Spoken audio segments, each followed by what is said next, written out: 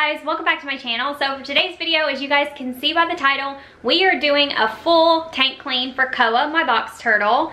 Don't know if you guys can see him. Can you see him? Can you see him? Can you see him? Hi.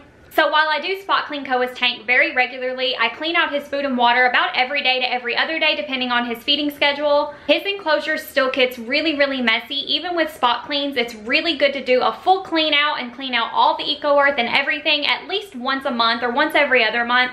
I do like to keep his enclosure pretty tidy. And obviously because I spot clean so much, he does need more substrate over time. It does go down, so you do have to kind of replenish it. So that's what we're gonna be doing today, just like a massive clean of Koa's enclosure. For those of you who do not know who Koa is, Koa is my 37 year old box turtle. He's about 37. He was taken from the wild in 1985 by a very irresponsible individual who then neglected him for 30 years. He was abandoned at a pet store and then I came to the pet store, I saw him and they basically allowed me to rescue him for free and they turned him over to me and now I've had him for a little over a year now. Koa is doing really well and he is thriving in his 75 gallon tank. He loves it. This is a 75 gallon reptile enclosure that I have him in with dual sliding doors. I love this tank. I had a whole video where I went and bought this tank. If you haven't seen that, it is in my turtle playlist, which I will link on the screen. If you guys enjoy this clean of Koa's enclosure, feel free to subscribe down below and also hit the notification bell. So if you guys watch my recent vlog, then you guys saw that I went and bought Koa a new bag of Eco Earth. This bag is absolutely massive. It's literally wider than I am. So once we clean out his enclosure, we'll be putting this whole bag in there and then I have a little bit of another bag if I need some more. All right, so the first thing we have to do is we have to put Koa in this little enclosure, which he is not gonna be happy with. But it is for his safety. I know you're gonna be mad. You wanna say hi to everybody? Say hello. Say I missed you. Say we're doing so good, just eating our worms and sleeping like a good boy. He's like, can you please hurry and clean my enclosure so I can go back? Koa is not a fan of being held. For literally 30 years, he was in a 10 gallon, so he's definitely not used to being held and he's still really, really shy around me, but he's still a good boy and he does pretty good.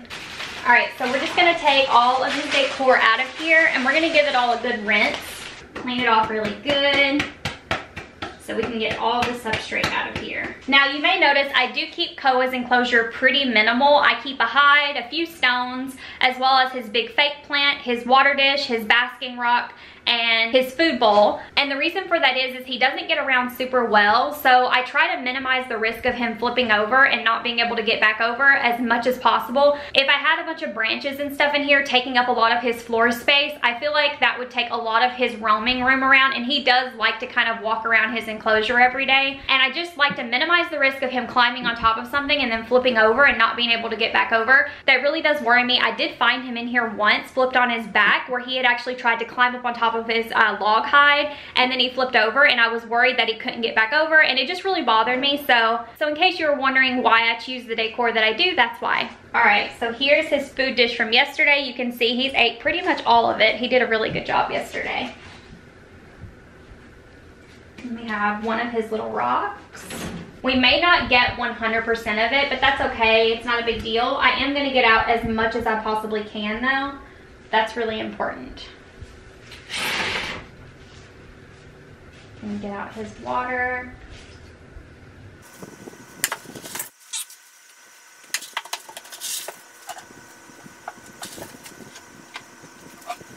I'm literally getting this everywhere. Okay, I finally got most of it empty. There's a little bit of dust on the bottom, but I'm really not worried about it. I've made such a mess. You guys should see the floor. Maybe you shouldn't because it's an absolute disaster. It's fine, we'll get it up. Okay, so now that I have the majority of it cleaned out, like literally 99% of it, as you can see, it is completely empty. Now we can go in and we can fill it back up with Eco Earth. So now I'm just gonna take a paper towel and kind of just wipe down the walls on the inside really good. Obviously it's not 100%, but for the most part, it is completely cleaned. Spray it down really good. And we're just gonna give his walls a really good wipe down. They're not really that dirty. Koa is actually a pretty cleanly pet. He doesn't really make that big of a mess. I mean, he does trek through his water and get that everywhere. And then, you know, he'll drag substrate everywhere. But other than that, he's not really messy. He's a very, very good turtle.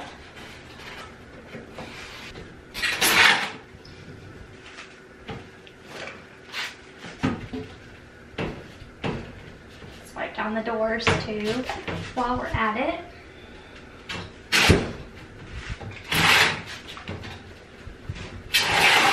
Alright, now we're go on and we are gonna fill this back up with Eco Earth. I hope you guys can see really well. Alright.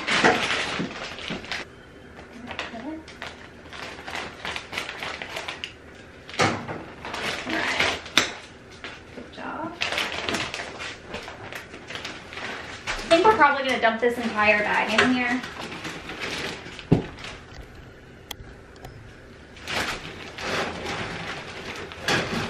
Think one bag might be enough. It's a big, big, big bag. Oh yeah, this is really good.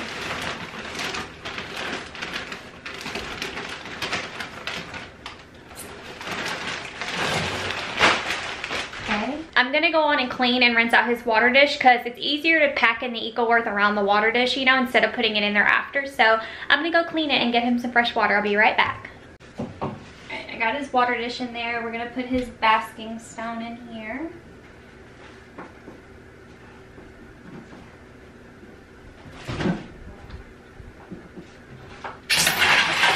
Looking pretty good. We're gonna add in this last little bit of a second bag, and I think that will be perfect and kind of top it off.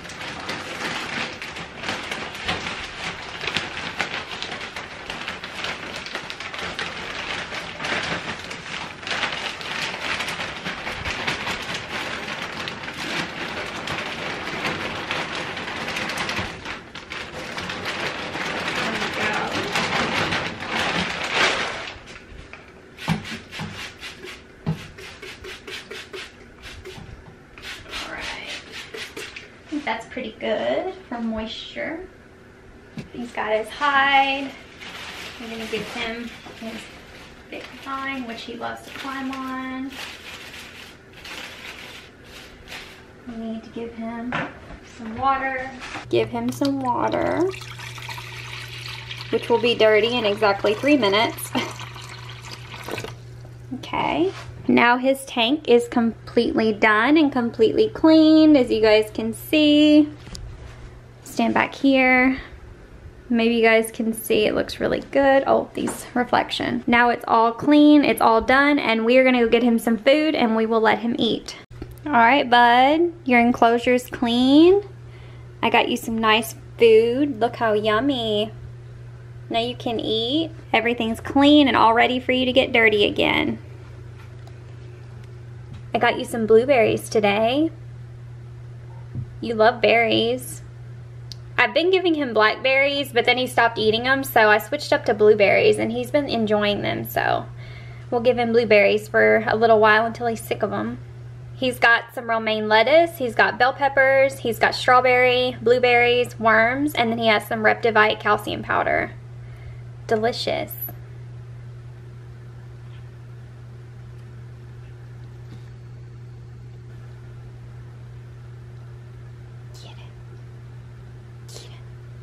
Eat him. Get that worm. Hit it.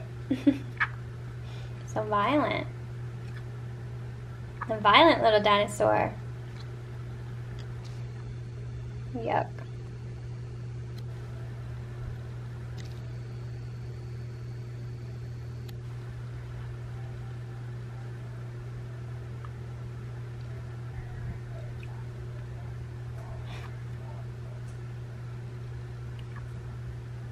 Alright guys, that is it for this video. Thank you guys so much for watching. I hope you guys enjoyed watching me clean Koa's tank. I know that he is going to love having a clean, fresh tank with all new Eco Earth. I'm really glad that I was able to film this for you guys today. Whenever I did the vlog and I went and bought all the Eco Earth and told you guys I was going to be cleaning his tank, you guys begged me to film it, so I hope you guys enjoyed this video. Thank you guys so much for watching. I will see you guys in the next video. Be kind. Bye.